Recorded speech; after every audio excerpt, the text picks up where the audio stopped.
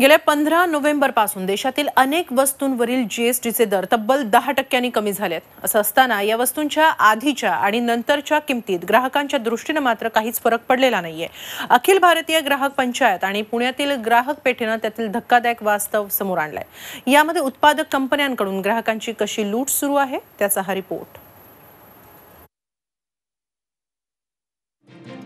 वस्तू पंधरा नोव्हेंबर आधी आणि पंधरा नोव्हेंबर नंतर.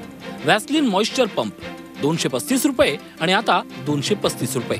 लॅक्मे मॉइश्चरायझर तीनशे दहा रुपये तीनशे दहा रुपये. सनसिल्क शॅम्पू तीनशे सत्तर रुपये तीनशे सत्तर रुपये. सर्फ एक्सेल एकशे बावीस रुपये एकशे बावीस रुपये.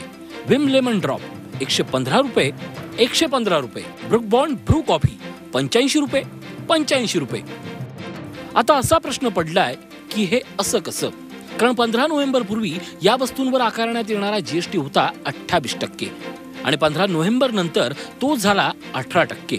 म्हणजे पंधरा नोव्हेंबर नंतर या वस्तूंचे दर कमी होणं अपेक्षित होतं. मात्र तसं काही घडलं नाही. त्याचं कारण आहे उत्पादक कंपन्यांनी मूळ किमतीत केलेली वाढ.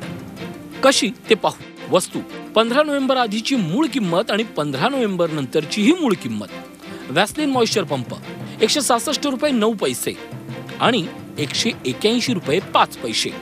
लॅक्मे मॉइश्चरायझर दोनशे बारा रुपये चव्वेचाळीस पैसे आणि दोनशे तीस रुपये पंचेचाळीस पैसे. सनसिल्क शॅम्पू दोनशे बासष्ट रुपये आठ पैसे आणि दोनशे पंच्याऐंशी रुपये पाच पैसे.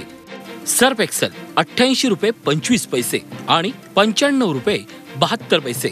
विम लेमन ड्रॉप त्र्याऐंशी रुपये एकोणीस पैसे आणि नव्वद रुपये चोवीस पैसे.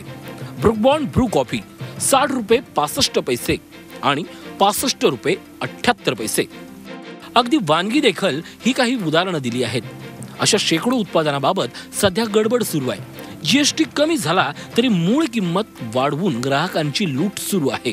महत्वाचं म्हणजे यात सरकारचीही दिशाभूल करण्यात येते आहे.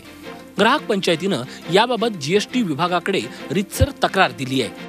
हा विषय जो आहे हा देशाने या जी एस टीचे जी तक्रार निवारण केंद्र आहे त्यांनी सुमोठं घ्यायला पाहिजे होतं असं आमचं मत आहे.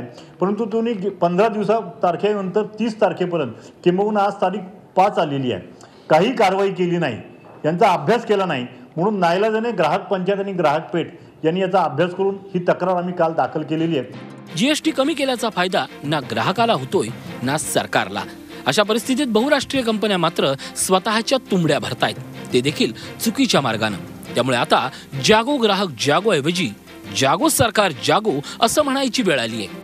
ग्राहकांचीच लूट सुरू सुरू आहे. सरकारने एवढी सूट दिलेली आहे तरीसुद्धा ती ग्राहकांपर्यंत पोचलेली नाही आहे मूळ ज्या किमती आहेत त्याच्यावरच जी एस टी आकारला जातो. त्या मूळ किमती कमी करून जो फायदा आहे तो ग्राहकाला दिला पाहिजे असं माझं मत आहे. विरोधक तसंच जनतेच्या रेट्यापायी काही वस्तूंवरील जीएसटीचे दर कमी करण्यात आले होते. प्रत्यक्षात मात्र लूट सुरूच आहे. अशी बनवेगिरी खपून घेणार नसल्याचं राज्याचे नागरी पुरवठा मंत्री गिरीश बापट यांनी त्याच वेळी म्हटलं होतं. अर्थात हा विषय केवळ राज्यापुरता मर्यादित नाही देशभरात हीच स्थिती असणार आहे. ती का खपून घेतली जाते हे कळायला मार्ग नाही. नाहीतर याबाबत कारवाई कधीच झाली असती. Arun Mehtre Zee media Pune.